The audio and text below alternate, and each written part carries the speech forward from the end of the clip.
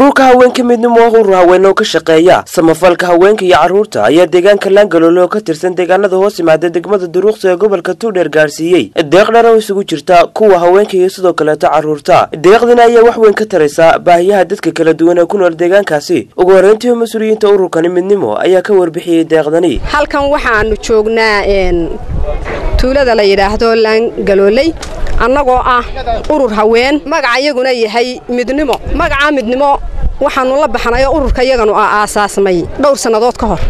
Ururka yagaasi waxa uu u taagan yahay inuu kaalmeeyo haweenka guud ahaan iyo carruurta ama qoysaska danyarta ahba. Sidaa daraaddeed waxaynu ogsoonnahay in dadkeennii xooluhu ka baxeen ay goobo badan isku urursadeen oo ay soo degeen iyagoo xoolihii ka dhammaadeen markaa tuuladan laangalooley la yidhaahdo waxaa jooga qoysas badan oo aad u badan oo ay xooluhu ka baxeen ayaa deggan. Annagu urur ahaan waxaannu istusnay bal in aannu intii taagta iyo aabal horta hawluhu way kala horreeyaane aannu marya gaadhsiinno carruurta iyo haweenka. Ayaannu waxoogaa dhara u keennay oo aan ku kaalmaynay.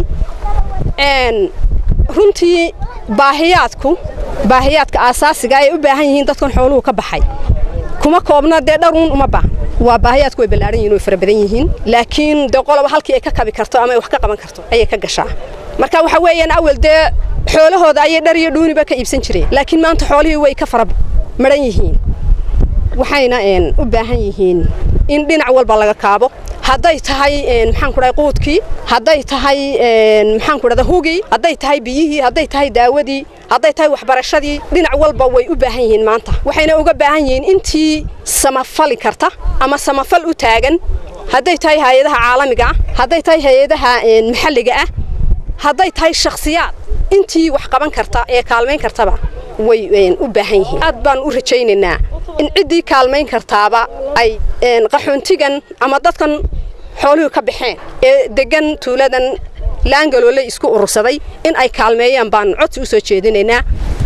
Halkan waxaa la yidhaahaa laangalooley waxaa degan dad danyar ah oo barakacayaashii dadkii xoolo ka soo madheena oo ka kala yimi arriga daafaheedaba dadkaasi waa dad xoolihii ka madheen waa dad dadka u jicsan waa dad u baahan waxqabad waa dad u baahan waxqabad raashin mid dawo ah mid ceel ah mid maxay tooyeen xanaana xooleeda mid iskuula mid kastaba mid malcaamada mid masaajida waa tuula aan xitaa masaajid lahayn. Mid kastaba u baahan.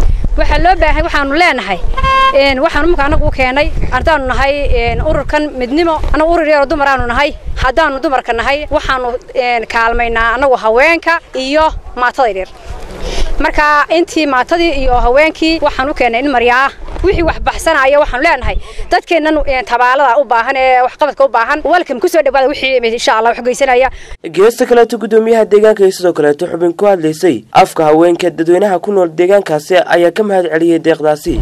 Anigoo ah guddoomiyihii laangalooley waxaanu halkan ka salaamaynaa ururka midnimada haweenka oo halkan noogu yimi aynoo keeneen deeq dhar ah. Dadweynaha iyaga ku nool magaalada laangalooley oo ay ku soo booqatay ururka midnimo ee ka tirsan somalilan oo noogu keenay maryaha haweenka iyo maryaha carruurta waanu ka guddoominay si sharaf laana nuga mahad celinay. Intaaya inka badanna walaalaha ee muslimka waanuga fadhinaa. Iyo dowladdeeda sharafta le ee mudan. Isku sawad xooriya deegaankani laangalooley oo ah deegaan ay ku nool yihiin dad barakacyaal ahi ayaa u baahan taha kulay biniaadantinimo oo dhinac kastaba taabanaysa. Waa khaalid bakayle fogaana ragga xorta star t v burco